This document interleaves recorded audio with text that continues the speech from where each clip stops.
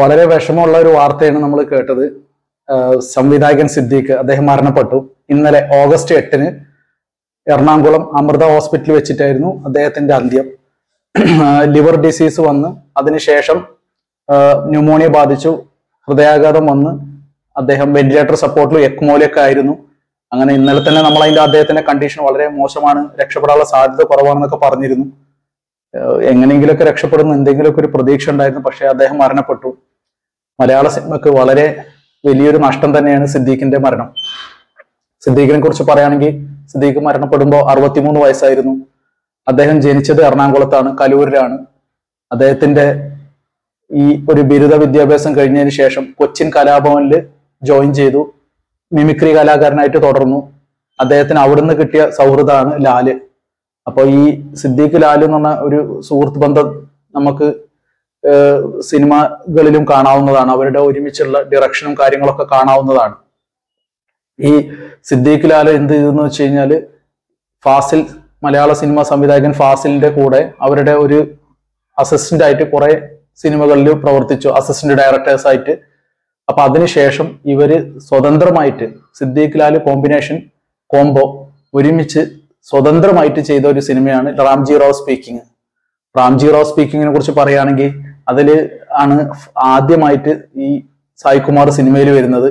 അങ്ങനെ ഒരുപാട് പ്രത്യേകതകളുള്ള ഒരു പടമായിരുന്നു റാംജി റാവ് സ്പീക്കിംഗ് അന്നത്തെ കാലത്തെ ഒരു ട്രെൻഡ് സെറ്റർ ആയിരുന്നു റാംജി റാവ് സ്പീക്കിംഗ് മുന്നൂറ്റി അറുപത്തഞ്ച് ദിവസത്തോളം തിയേറ്ററിൽ ഓടിയ ഒരു പടമാണ് റാംജി റാവ് സ്പീക്കിംഗ് അതിനകത്തുള്ള വിജയരാഘവന്റെ മേക്ക് ഓവർ ആണെങ്കിലും ശരി കോമഡി കൈകാര്യം ചെയ്തതാണെങ്കിലും ശരി എല്ലാം വളരെ നന്നായിട്ട് ചെയ്ത ഒരു പടമാണ് റാംജി റാവ് സ്പീക്കിംഗ് ഈ പടത്തിന്റെ വൻ വിജയത്തിന് ശേഷമാണ് അതിന്റെ സീക്വലായിട്ട് മാനാർമത്തായി സ്പീക്കിംഗ് ഒക്കെ എടുത്തത്. അതും നമ്മൾ കണ്ടതാണ്. വളരെ നല്ല മൂവീസ് ആയിരുന്നു ഇതൊക്കെ. ഈ റാംജി റാവു സ്പീക്കിംഗ് എന്ന് പറഞ്ഞ ഹിറ്റ് പടത്തിന് ശേഷം ഈ ഒരു കോംബോ ചെയ്ത ഒരു വൻ പടമാണ് ഇൻഹരിയർ നഗർ. ഇൻഹരിയർ നഗറിനെ കുറിച്ച് പറയുകയാണെങ്കിൽ അതിനകത്തുള്ള തോമസ് ഊട്ടി വിട്ടോടാന്നുള്ള ആ ഒരു വാക്ക് അത് ഇപ്പോഴും പല ആൾക്കാരും പറഞ്ഞുകൊണ്ടിരിക്കും. അത്രക്കും നല്ല രീതിയിലാണ് അതിനകത്തുള്ള നാല് പേര് ചെയ്തിട്ടുള്ളത് അപ്പുക്കുട്ടന്റെ കോമഡികളൊക്കെ വളരെ നല്ലതാണ്. അത് എന്ന് വെച്ചാൽ ഓരോ കഥാപാത്രവും നമുക്ക് ഇപ്പോഴും ഓർത്തിരിക്കാൻ പറ്റും. മുപ്പത് വർഷത്തിന്റെ മുകളിൽ പഴക്കമുള്ള പടമാണ്.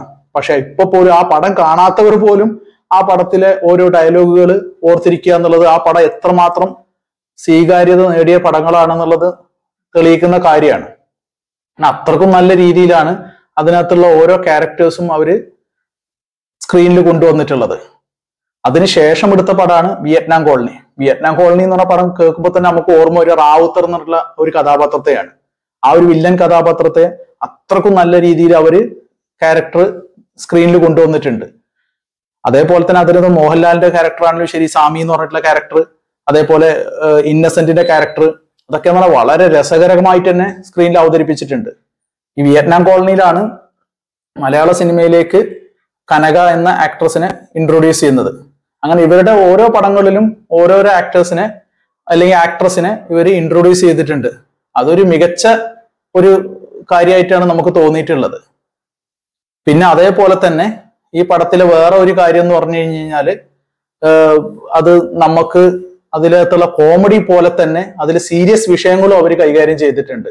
ഒരു കോളനിയിലുള്ള ഇഷ്യൂസ് അത് പബ്ലിക്കിൽ എങ്ങനെ എഫക്ട് ചെയ്യുന്നു നമ്മളെ എന്താ പറയാ സമൂഹ സമൂഹത്തിന് എങ്ങനെ എഫക്ട് ചെയ്യുന്നു എന്നുള്ള രീതിയിലെ കാര്യങ്ങളൊക്കെ അവരത് കാണിച്ചിട്ടുണ്ട്. അപ്പൊ കോമഡി മാത്രമല്ല അതിനകത്ത് ഒരു ചെറിയൊരു സീരിയസ് വിഷയം കൂടെ അതിനകത്ത് ഒരു ഇൻഫിൽട്രേറ്റ് ചെയ്തിട്ട് കാണിക്കലും ഇവരുടെ പടത്തിന്റെ ഒരു പ്രത്യേകതയാണ്.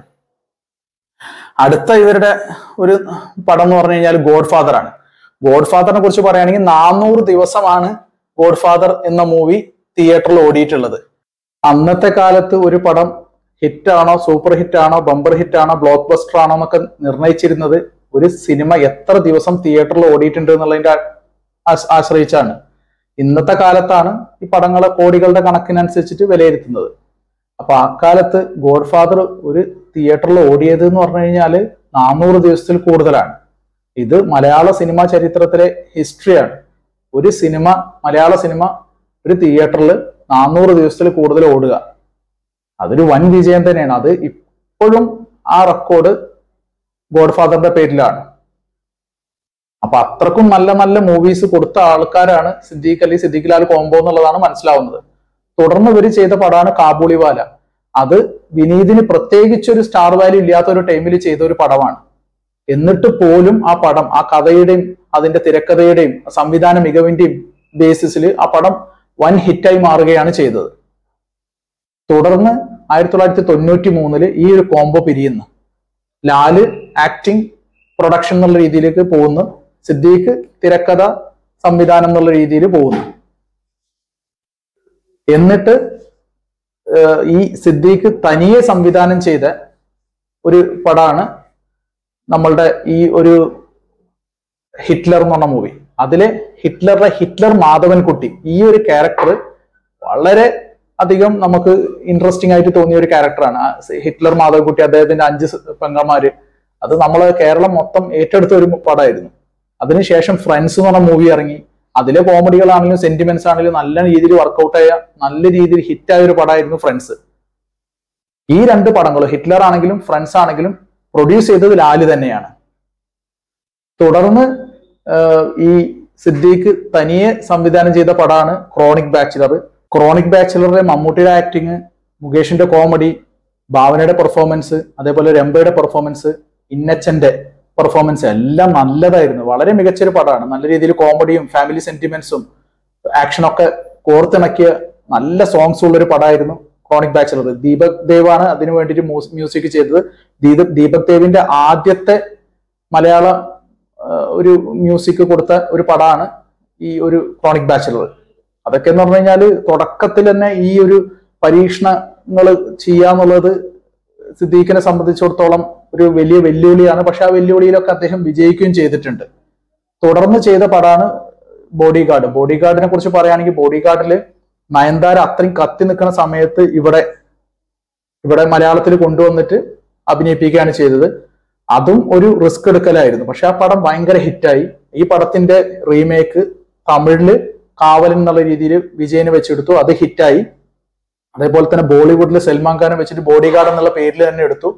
അത് ബ്ലോക്ക് ബസ്റ്റർ ഹിറ്റ് ആവുകയാണ് ചെയ്തത്. ഇങ്ങനെ വളരെ റിസ്ക് എടുത്തിട്ടും നല്ല രീതിയിൽ ആൾക്കാരെ എന്റർടൈൻ ചെയ്യുന്ന രീതിയിൽ തിയേറ്ററിലൊക്കെ അത്രയ്ക്കും നല്ല കയ്യടി നേടുന്ന രീതിയിൽ നല്ല രീതിയിൽ കോമഡി കൈകാര്യം ചെയ്യുന്ന രീതിയിൽ പടങ്ങൾ എടുക്കുന്നതിൽ മികവറ്റ ഒരു സംവിധായകനായിരുന്നു സിദ്ദീഖ്. പിന്നെ തുടർന്ന് അങ്ങോട്ട് അദ്ദേഹത്തിന് പല പല ചെറിയ ചെറിയ പടങ്ങൾ അദ്ദേഹത്തിന്റെതായിട്ടുള്ള ഇറങ്ങിയിരുന്നു പിന്നെ ഈ കിങ് ലെയർ എന്ന് പറഞ്ഞ പടത്ത് പടം അത് സംവിധാനം ചെയ്ത ലാലാണ്. അതിനു വേണ്ടി തിരക്കഥ ഒരുക്കിയത് സിദ്ദീഖാണ്. അപ്പൊ സിദ്ദീഖിനെ കുറിച്ച് പറയുകയാണെങ്കിൽ സിദ്ദീഖിന്റെ അവസാനം ഇറങ്ങിയ പടം ബിഗ് ബ്രദർ എന്ന് പറഞ്ഞ പടമാണ് അത് രണ്ടായിരത്തി ഇരുപതിലാണ് ഇറങ്ങുന്നത്. പിന്നെയും തുടർന്ന് പടങ്ങൾക്ക് വേണ്ടിയിട്ടുള്ള തിരക്കഥ പ്രിപ്പറേഷൻ സംവിധാനത്തിന് വേണ്ടി പ്രിപ്പറേഷന് വേണ്ടിയിട്ട് ഇദ്ദേഹം നിൽക്കുന്ന സമയത്താണ് ഇതുപോലെ ന്യൂമോണിയ ബാധിച്ച് ഇദ്ദേഹം അഡ്മിറ്റ് ആവുന്നതും ഇങ്ങനെ ഹൃദയാഘാതം വന്ന് മരണപ്പെടുകയും ചെയ്യുന്നത്. നോൺ ആൽക്കോഹോളിക് ലിവർ ഡിസീസ് എന്ന അസുഖത്തിന് അടിമയായിരുന്നു സിദ്ദീഖ് എന്നാണ് പറയപ്പെടുന്നത്. അതിന്റെ തുടർന്നുണ്ടായ ന്യൂമോണിയ ന്യൂമോണിയ തുടർന്നുണ്ടായ സെപ്സിസ് തുടർന്നുണ്ടായ ഹൃദയാഘാതം പിന്നെ വെന്റിലേറ്റർ സപ്പോർട്ട് എക്മോ അങ്ങനെ ആ ഒരു സ്റ്റേജിലൂടെ അദ്ദേഹം കടന്നുപോയി. അദ്ദേഹത്തിന് ജീവിതത്തിലേക്ക് തിരിച്ചു വരാൻ പറ്റിയില്ല. മരണപ്പെടുകയാണ് ഉണ്ടായത്. എന്തായാലും അദ്ദേഹത്തിന്റെ മരണം മലയാള സിനിമയ്ക്ക് ഒരു വലിയ നഷ്ടമാണ്. ഒരു വ്യക്തി എന്ന നിലയിലും നല്ലൊരു ആളായിരുന്നു എന്നുള്ളതാണ് അറിയാൻ കഴിഞ്ഞത്. അദ്ദേഹത്തിന്റെ വ്യക്തിജീവിതവും അതേപോലെ തന്നെ സിനിമാ ജീവിതവും എല്ലാം എല്ലാ മനുഷ്യർക്കും ഒരു പ്രചോദനം തന്നെ ആയിരുന്നു. അത് പറയാനുള്ള എന്താണെന്ന് വെച്ച് കഴിഞ്ഞാൽ സിദ്ദീഖ് ഡയറക്ടറുടെ മരണം ഒരു തീരാ നഷ്ടം തന്നെയാണ് മലയാള സിനിമക്കും കേരള സമൂഹത്തിനും.